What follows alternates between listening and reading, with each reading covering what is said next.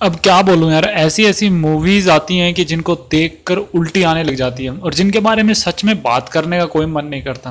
But क्या करूँ, काम है, सहना पड़ता है और ये सब चीज़ें करनी पड़ती हैं, देखनी पड़ती हैं रिव्यू जो करना है। नमस्कार दोस्तों, इस वीडियो में बात करने वाला हूँ अनलॉक द हॉन्टेड ऐप इस मूवी के बारे में, जिसे जी फाइव पर रिलीज़ किया गया है।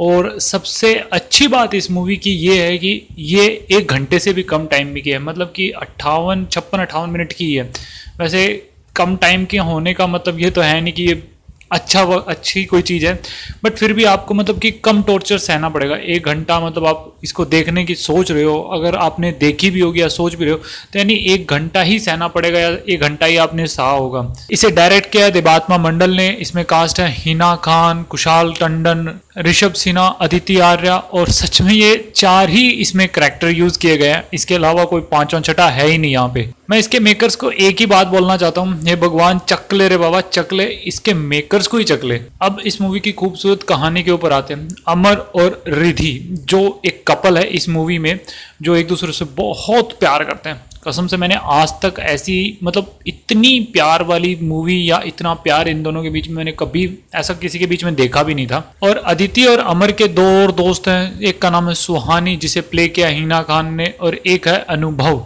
एज यूजल सुहानी जो है वो अमर को पसंद करती है और अमर जो है वो रिधि को पसंद करता है। रिधि अमर को ही पसंद करती है यानी कि रिधि किसी और को पसंद करती है। मतलब वही चीज़ एक ट्रायंगल दिखाने की यहाँ पे कोशिश की गई है और सुहानी अमर को पाना चाहती है। कभी उसे बोल नहीं पाई ये चीज़ें बट अभी भी उसके दिल में ये इच्छा है कि उसे अमर मिल जाए। तो ऐसे ये पार्टी में बैठे होते हैं तो अनुभव इन तीनों अपने दो अपने तीनों दोस्तों को एक बात बताता है। मतलब बात वो इंटरनेट के डार्क वेब डार्क वेब के बारे में बताते हैं कि एक डार्क वेब भी है जिसमें इलीगल काम होते हैं और वहाँ पर आप जो चाहें, जैसा भी काम चाहें, जो भी आपकी डिमांड हो, वो चीज़ें सारी की सारी वहाँ पर पूरी हो जाती हैं। तो सुहानी इन सब चीज़ों के बारे में सुनती है और इससे इन्फ्लुएंस हो जाती है और घर जाके वो डार्क वेब के बारे में सर्च करती है और यकीन मानो, सिर्फ़ उसने सर्च किया और सर्च करने के बाद उसे डार्क वेब मिल गया, उसके अंदर उसने एंटर कर लिया। यार, मुझे वीडियो एडिटिंग सीखने में, मुझे फ़ोटो एडिटिंग सीखने में मुझे बहुत टाइम लग गया और अभी भी मैं उसके ऊपर काम कर रहा हूँ। मुझे अभी भी वो अच्छे से नहीं आई और इन जैसों ने सिर्फ़ सर्च करने पर वो डार्क वेब के बारे में जान भी लिया। ये क्या हो रहा है इधर? हम इतना टाइम पैसा सब कुछ लगा के आते हैं। मज़ाक हो रहा है। तो डार्क वेब में एंटर करने के बाद इसे एक मैसेज आना शुरू होता है सुहानी को कि एक ऐप इंस्टॉल करो, वो ऐप इंस्टॉल करती है, एक अनलॉक वेब एक अनलॉक ऐप के नाम से इसके फ़ोन में एक ऐप इंस्टॉल हो जाती है और ये ऐप जो है वो हॉन्टेड है। मतलब आजकल के जो भूत हो गए हैं, वो भी डिजिटल हो गए हैं, उनको भी एक ऐप की ज़रूरत आनी पड़ी, उन्होंने भी अपनी ऐप लॉन्च कर दी है, उन्होंने अपनी एक वेबसाइट बना ली है।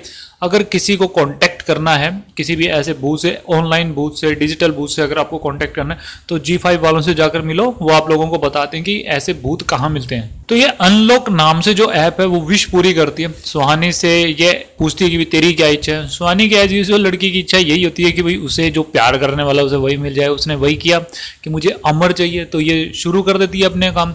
अमर को, अमर और रिधि के बीच में ब्रेकअप करवा देती है और इससे अमर जो है, वो सुहानी के नज़दीक आता है। फिर ये ऐप कहती है कि अगर तुझे अमर सच में और अपने नज़दीक चाहिए तो उसके तीन टास्क ऐसे करने पड़ेंगे।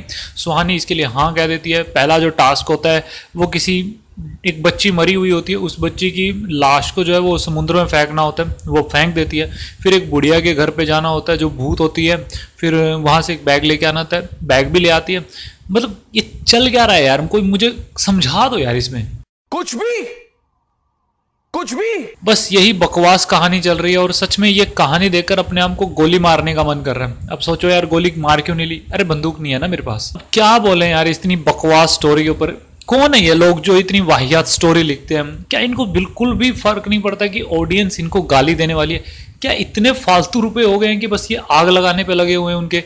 यार, इतना महामारी चली हुई है, इतने लोगों को ज़रूरत है रुपयों की, उनको राशन पानी की ज़रूरत है। तो यार, वहाँ जाकर लगाओ ना, लोगों की दुआ मिलेगी, क्यों लोगों की गालियाँ खा रहे हो? और मेरे ख्याल से इस मूवी का नाम होना चाहिए था, भूतिया ऐप। ये नहीं कि अनलॉक द हॉन्टेड ऐप भूतिया ऐप ज़्यादा इसको सूट करता, ज़्यादा सेंस बनता और थोड़ा बहुत शायद डरावना भी लग सकता था।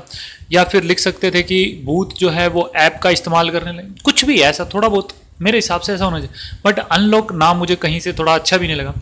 खैर, छोड़ो, ये तो जोक था। मेरी तरफ़ से इस मूवी को मैं देना चाहूँगा one out of ten star कहीं ज़्यादा तो नहीं दे दी ना टीटू बहुत है ना इतने। खैर, जिन लोगों ने भी ये मूवी देख रखी है बट मुझे पता है यार, तुम लोग फ़ैन हो गए, वही फ़ैन जो, क्या बोले उनके बारे में? अगर तुम इन लोगों के फ़ैन हो तो मुझे पता है कि तुम गाली लिखने वाले हो। बेशक लिखो यार मैंने तो आज तक कभी किसी को रोका तक नहीं है। गाली लिखो जो तुम्हारे मन में है बट थोड़ा सा कॉमन सेंस यूज़ करके देखो कि क्या ये मूवी डिजर्व करती थी देखने के लिए, या फिर अभी तक जिन्होंने नहीं देखी है तो भाई एक ही सलाह देने वाला हूँ ये जी फाइव जो है ना, वो एक हॉन्टेड ऐप ही है। दूर रहो ऐसे। ये सच में तुम्हारे दिमाग का दही कर देगी। खैर, जाने दो जाने दो। बस आज के लिए इतना ही था इस वीडियो में। Thanks for watching this video मिलते हैं नेक्स्ट वीडियो में। जय हिंद।